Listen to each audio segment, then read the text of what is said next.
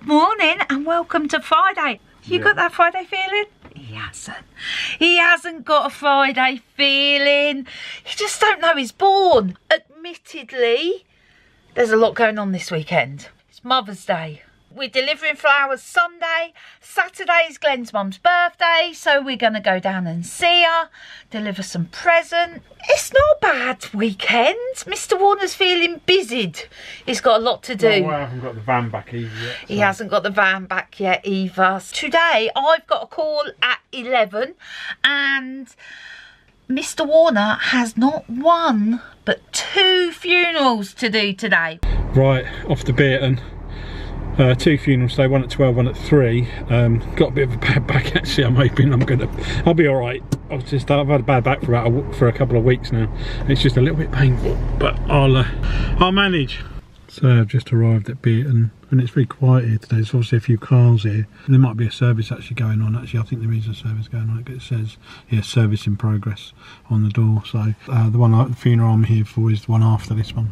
Right, just got back from uh, the first funeral. Just going to nip back to the boat. The next one's not till three, so I've got a couple of hours, and I'll see you in a bit. So I haven't heard from Mr. Warner. He's gone off to do a funeral and I haven't heard from him.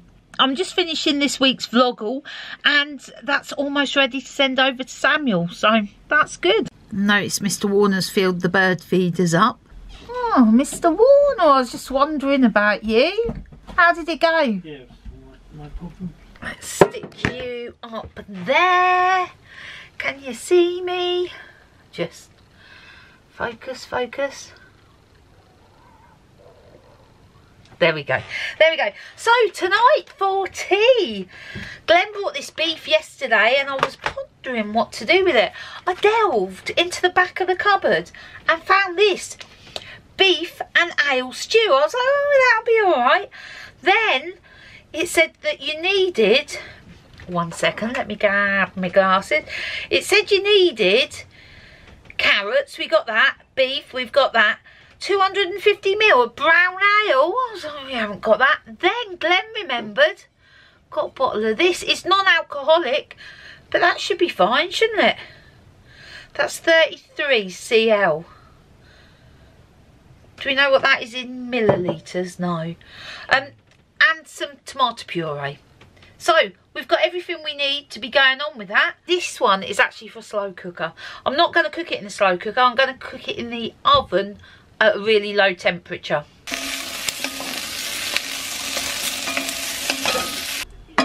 Right, that's ready to go in the oven.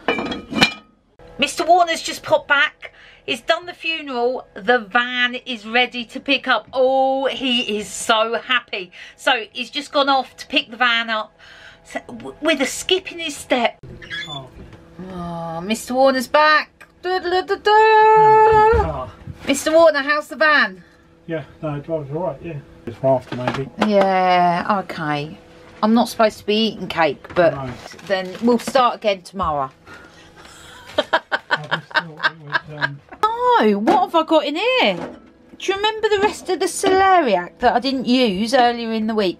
Well, I've sliced it up and I've stuck it in some boiling water for a few minutes and I'm going to stick that on top of the beef. Let's have a look. Oh, that's looking tasty. Right, so I've put the celeriac slices on top. I'm just going to give it a little bit of cheese on top just so it goes all brown and crispy. Yeah, and then I'm going to sit that back in the oven. I've been listening to my audio book all afternoon. It's fab. Right, going to sit that back in the oven. So, here we go. Let's see what it tastes like. Go on, Mr. Warner. There's a lot of celeriac on there. You might have to dig deep